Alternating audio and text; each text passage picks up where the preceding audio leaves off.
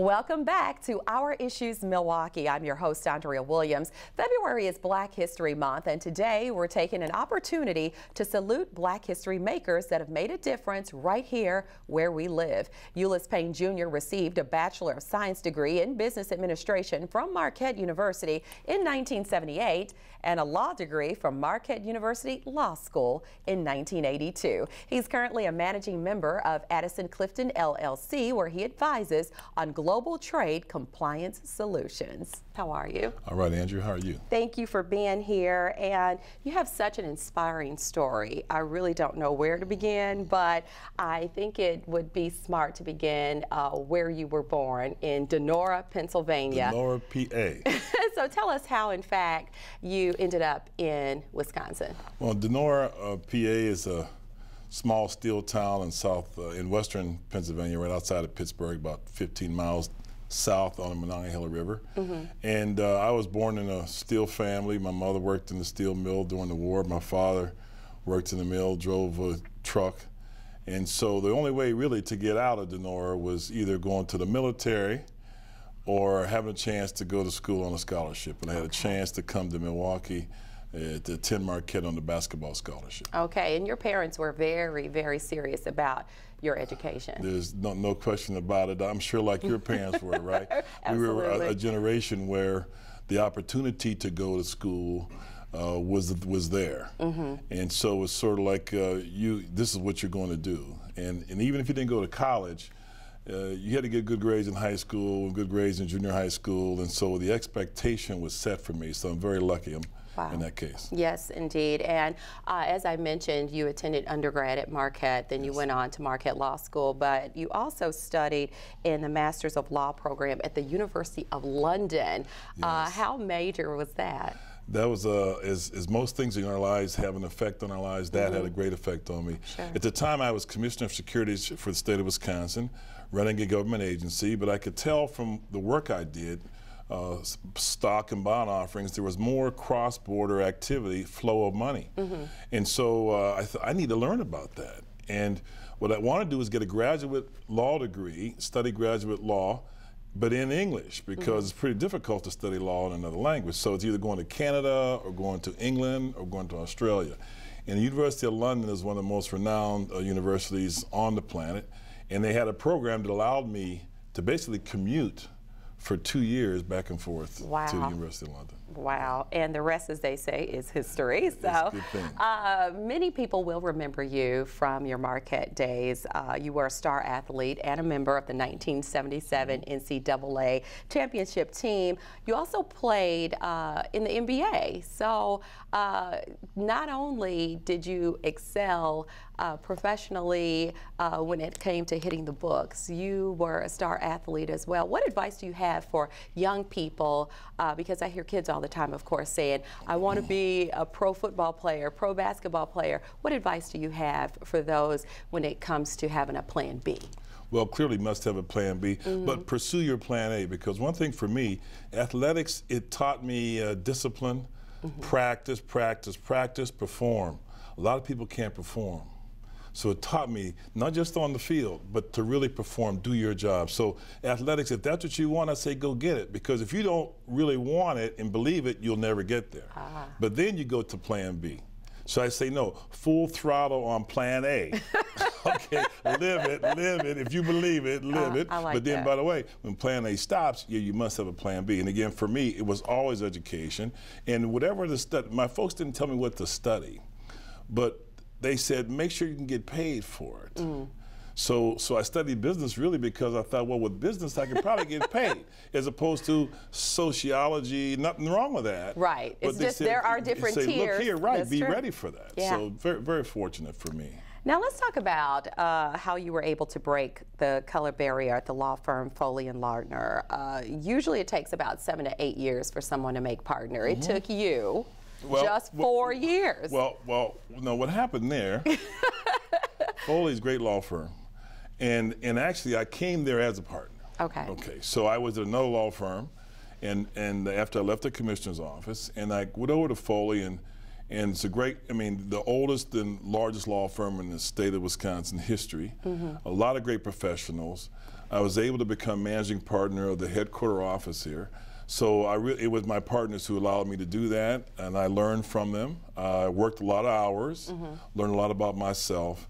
So, so for me, it was fortunate to be in that position to be a part of such a large historic uh, law firm in the state of Wisconsin. Yes, and you're in the history books as the firm's first African American managing partner. So, uh, if you had any challenges at all, uh, what were some of the challenges you faced? Because let's face it, in some instances, you never deal with uh, color being an issue, but a lot of times in our society, yeah. it does come up as an issue.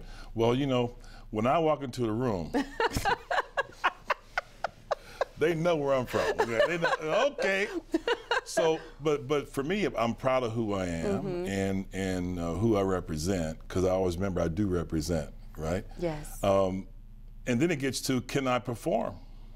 And usually, again, from athletics, a lot of folks read something one time, but I found if you read it the second and third time, how much clearer it becomes. Okay. It's like practicing basket, shoot, shoot, shoot, shoot, jump, jump, jump. So I found, and when I brought that to the practice of law, many times the people I was working with, they didn't read it three, four, or five times. So I was used to doing things over and over, and also getting used to saying that you know I could always be better. Mm-hmm. So for me, um, I let the color be their problem. Like talk to your psychologist right. about that. But I am who I am, right? right, right, I am right. Who I am. But but now can you handle this? Like, what are we talking about? Mm-hmm. What are we mm-hmm. doing? So I always focus on execution. I love that. And yeah. just with you saying that, people can take some of that with them and apply it to whatever they're dealing with in their own lives. So thank you for sharing that.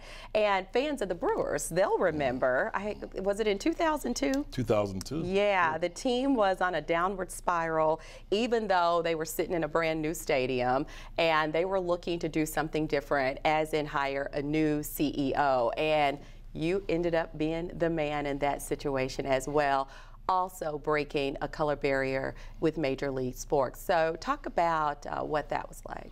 Again, fortunate the creator's been good to me, Andrea, and, yeah. and give me opportunities. Uh, and there was an opportunity there. I, I, knew the owners of the Brewers. Oh, Foley Lardner represented the Brewers mm-hmm. uh, and worked with Major League Baseball and and I had worked on a stadium project as the stadium authority. So I knew I knew a bit about what was going on, and I really was flattered, totally surprised. But again, once I got asked, I sized it up, talked to my family, prayed on it a little bit, mm-hmm. you know, mm-hmm. make sure. Uh, then took advantage of the opportunity. And I think I, I learned a lot, and hopefully, as I look back now with the Brewers, uh, some of the same colleagues that I asked to come join me in management are still there, wow. which is very helpful. Uh, the team has continued to improve. Mm-hmm. Uh, and I think in the end of the day, uh, while I had my chance, I, I, gave a little bit. Hopefully, it was positive. Oh, absolutely. I mean, the simple fact that uh, you go down in the history books uh, being uh, one of the first African American men to be a CEO of a major league franchise is saying enough. And it was in 2003 that Sports Illustrated actually named you one of its 101 most influential minorities in sports. Period. So I would yes. say it was a positive experience. Yeah, I hope so. now, uh, during the time that you uh, took on the position with the Brewers, uh, there were many lobbyists pushing to see more minority representation in Major League Sports. So, uh, what advice do you have to young people who, like yourself, uh, had the skills on the basketball court, on the field, whatever the case may be, uh, in taking those skills of knowing a sport to the next level? Well, I would say, like most things, Andrea, you know, life is a series of opportunities. Mm-hmm. And the question is, whatever you're doing, like do it well, bring something. Law firms the same way. What is your law post? Why would I hire you? So whatever you're doing, whether it's in front of the camera, behind the camera, mm-hmm. scheduling something, uh, be good at what you do. The second thing is, someone is always watching. For these opportunities that, that, that we talk about here, that's not something I planned, not something I laid out and figured I want that spot. But it's a series of opportunities that come about, and the question is, when it comes, are you ready? Are you ready? There it is. And can you bring it? Like, what's your go-to move? What's your go-to move? Let me see it. Okay. I hear, I hear like a coach in Let there. Let me see it. Can you make the free throw or not? Okay.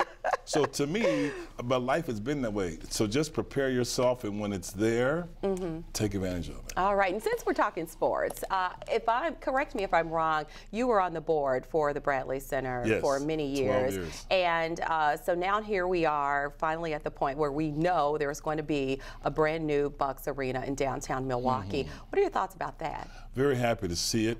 Uh, we at the Bradley Center, I was on the board 12 years. I chaired it for 10. Mm-hmm. And the land that we held to make sure no development occurred just north of us is going to be a prime site for the new arena. So, yeah. so again, I'm very thankful for the new owners and the commitment from the leadership politically to say we need this for the city. It's not so much for me because I've been to a lot of games, but it's for uh, young Johnny who may go to one game a year or a concert or or WWE, okay? but it's for them. Yeah. And so I'm very helpful uh, and thankful for Senator Kohl and for the new owners to say let's let's make an investment in our community. Yeah, and it is Very going thankful. to definitely make a huge difference, especially no down the line, because the same way people probably felt when the Bradley Center was first built, uh, there's right. going to be people that'll be able to look back and say they remember when this arena was built when they're talking about building another one in the next it goes that way 60 but, or 70 years. But you think about all the people, including yourself, yeah. right, who people got to know and see because that building was there. Mm-hmm. And I think it's not so much exactly, it's not the money, it's, it's a community. They, there's an African uh, saying called, uh, or term called Ubuntu, which you may know. Ubuntu says, I am who I am because of who we are. Mm. And so those kind of facilities bring people together, together yes, right? Yes. And they bring people on a certain mission, a certain feeling. You feel bad when you lose, you feel good when you win. So to me, I'm so thankful that someone now who's got the resources says, yeah, we're going to put this right here. Yes, that's a great way to put it. And uh, when you look back, I know you just live your life and you don't really sit back probably and ponder about all the wonderful things that everybody else sees. Automatically, they think about it when they see you like, oh, he did this, he did that. Mm. What, when you do ever just kind of reflect, what are you most proud of? Well, I'm most proud of, um, I'd say, having the opportunity to to have good friends. Mm-hmm. You know, because so much from my wife, who I met in Marquette, who's from Milwaukee, uh, folks like Congresswoman Moore, where I've had a chance to really be around some good people, some good souls. Yeah you know, and that's what I'm thankful for. Yeah, because I mean, meeting good people doesn't happen every day. You meet all kind of people, especially when you're talking you know, about it being uh, you, you, are working know. in law and things of that nature. All kind of things and characteristics come along with it. But to be able to say you've met great people that have been around for many years and will be there for years to come is a blessing. No question. Well, thank you. It's thank always you, a pleasure to talk to you. You have so much personality, and I totally get why you are as successful as you are. Thank you very much. well, thank you for stopping by. Ulice Payne Jr. is a managing member of Addison Clifton LLC and a true trailblazer on many levels. It was writer Ralph Waldo Emerson who said, do not go where the pathway may lead, go instead where there is no path and leave a trail. That is going to do it for today's show. I'm your host, Andrea Williams. As always, I thank you for watching, and I do hope you join us again next week as we take another look at our issues Milwaukee. Have a great day.